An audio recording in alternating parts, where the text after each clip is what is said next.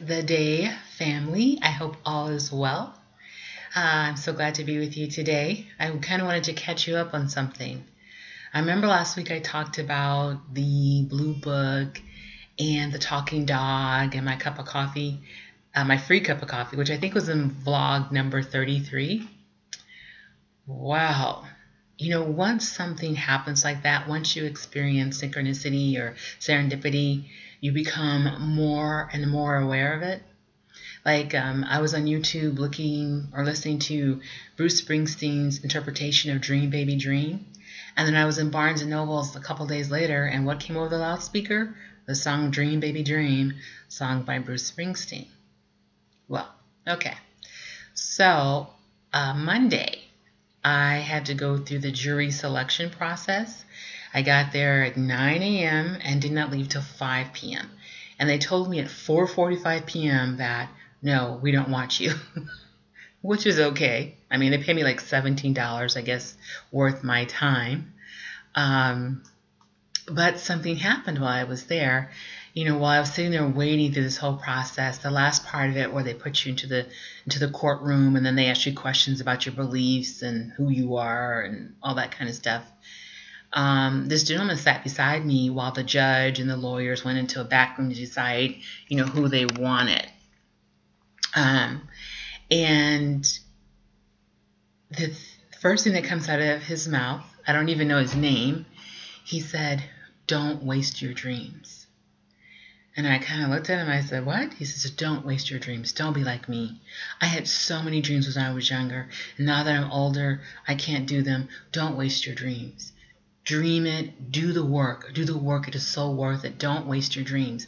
My wife, she had dreams. She quit her job. She did things that people said that, you know, she was crazy and she did them. And now 10 years later, she has her own business. She lived her dream. And he works for his wife. And he said, do the work for your dreams. Take action. Don't don't sit on your dreams. Don't let them pass you by. And I was like, okay. I didn't know this guy. I never met him. He was an older gentleman. I really appreciate what he said, and I was thinking about it because there's some projects that uh, no, there's a dream that I want to live, and um, I haven't really been been doing what's necessary for the dream. I call it a project. It's not a project. It's a dream. And so, of course, talking about serendipity and synchronicity. About two days later, I'm in the library. I love the library. I love books. That is an addiction for me. I come across this book called The Four Doors by Richard Paul Evans. It says he's a best selling author. I've never heard, of him, and I haven't had time to really look him up. Um, and of course, the first page I, page I turn to, what does it talk about? Dreams. It's the third door. The book is about the four doors to leading a meaningful life.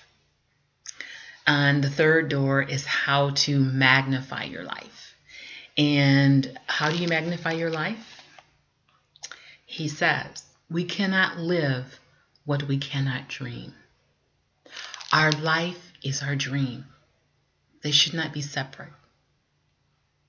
And you know, that's how we thought about things when we were kids, right? People always ask you, what do you want to be when you grow up? Oh, I'm going to be this, I'm going to be that. It was all a dream, but nothing was impossible. Whatever your heart felt, that's what your dream was. And then somewhere along the line, someone said, Oh, you can't be an artist, you can't make a living. Oh, you don't look like an actress to me. Or, I don't think you have the skills for that. Right? People began separating you from your dream. But your life is your dream. You are your dream. And so he talks about four ways that we can magnify our life, that our life becomes a dream. And um, I really appreciate this chapter because you know how people talk about vision boards, and I have nothing against vision boards because I know they allow you to focus on your dream. But no one tells you about the work that you have to do to make your dream your life. It's as, as if that dream is a vision far off. No, that dream is your life right here, right now. And so he talks about that. And he talks about four things, you know, that he feels that you should do. the first thing you should do is ask the what if question. What if I was an actress? What if I was an architect? What if I opened my own business? Because when you start thinking about the what ifs, they become real. This is real time. This is not some dream you have in a land far, far away. This is the real time. And you start asking yourself, what if? You start imagining in your mind the steps. Because you know, if you want to be an architect, you're going to have to go back to school. You're going to have to network with other architects. You start thinking about those things, right? So they become real to you. And then something else has to happen. And there's this quote by Helen Keller, and it says, Life is either a daring adventure or nothing. Security does not exist in nature, nor do the children of men as a whole experience it. Avoiding danger is no safer in the long run than exposure. So you get the real world, you know what it's going to take for this dream, then you got to start taking the risk. Or, as this example, Wayne Gretzky, who is a famous um, hockey player, you miss 100% of the shots you don't take. Yes, you're going to fail.